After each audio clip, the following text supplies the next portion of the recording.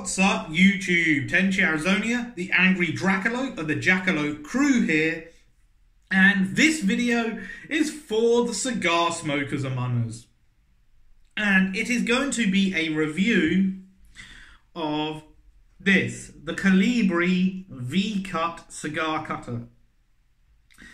And honestly, there's not much I can say about this in terms of a review. The build quality is outstanding.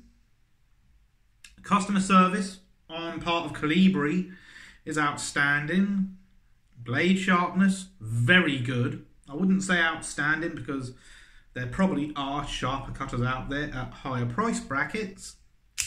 But in the price bracket of this one, very, very nice. Mine is the blue and black. It is available in other colours. And quite honestly, prior to using this cutter, I was using a cheap Chinese one, which I have here. This cheap Chinese one has got a bit of a uh, wire wrap there, just to improve comfort, because it was cutting into my finger on that side when I was using it. Don't use this anymore though. I also used to use a cigar punch before I got this cutter. So, what do I have to say about this cutter that makes this a review? Well, the price of this cutter is not too shabby actually. I think I paid around £30 for it several months ago. I can't remember, but the person I actually bought it off will be able to correct me on that if I am wrong. So, what do I think of the build quality of this cutter? Well, it is entirely metal. There is not a bit of plastic on this cutter except maybe the button. In fact, even the button might be metal. It is assembled with four Torx screws, oh, sorry, eight Torx screws, four per side. So if you need to take it apart, that is doable, though personally I would not recommend it because the blades on these never need to be taken out to be sharpened. In fact, in the time I've had this, I've smoked probably 20 or 30 cigars, all cut with this cutter, and is still as, the sh as sharp as the day I got it. Ergonomics, it is very, very comfortable to use. And quite honestly, yeah, you can see that. It is easy to use one-handed, which all cigar cutters should be in my opinion, unless they're tabletop cutters.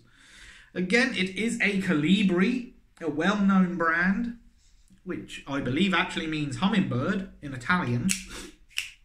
But yeah, I really do like this cutter. As I said, the blade is of outstanding quality. I've never had to sharpen it. I do like the fact it's also spring-loaded. So, quick and easy to cut. You don't have to worry about it opening in your pocket. Literally, it cannot open like that. You have to depress the switch for it to open. So that is a plus. Unlike cheap Chinesium, yeah, that's not good. You don't want these sort of things opening in your pocket because you can get cut that way. So, for des design, first off, design five stars. Now, personally, I would have preferred the red and black, but I do really like how the blue and black looks. We all know red and black are my favourite colours, without a doubt. But the blue and black really, really does pop. Again, if it, if it doesn't show up well on the camera, I'll insert an image up here. Should do because I have got my recording light on. But yeah, design, visual design, five stars. Ergonomics, it is extremely comfortable to use, five stars. Price, five stars basically. Uh, blade sharpness, well, I'll be honest with you, blade sharpness is definitely five stars. As the first day I had this, I decided to uh, run my thumb across the blade to see how sharp it was, and I actually cut my thumb open on it. so yeah, that was kind of funny actually. Uh, but yeah, completely a five star rated cigar cutter. Pretty much all I can say on it. So that's all I am going to say. I highly recommend it. End of story. But in addition, I've also done a video on the Colibri Falcon lighter, this lighter, which is what I pair my cutter with. As you can see, they are both Colibris. And yeah, I have these two together at all times. I usually have both on me. So, and both are five star rated. Anyway, that's all for the review, but if you want to support my channel, I do have, at the moment, 160 channel stickers.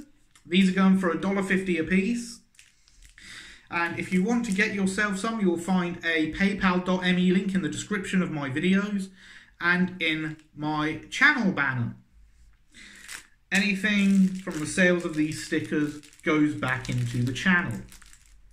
That's pretty much all I can say on that. They are 70 by 70 stickers, by the way, and they are also vinyl, so suitable for outdoor use, such as on tackle boxes, toolboxes, or gun cases.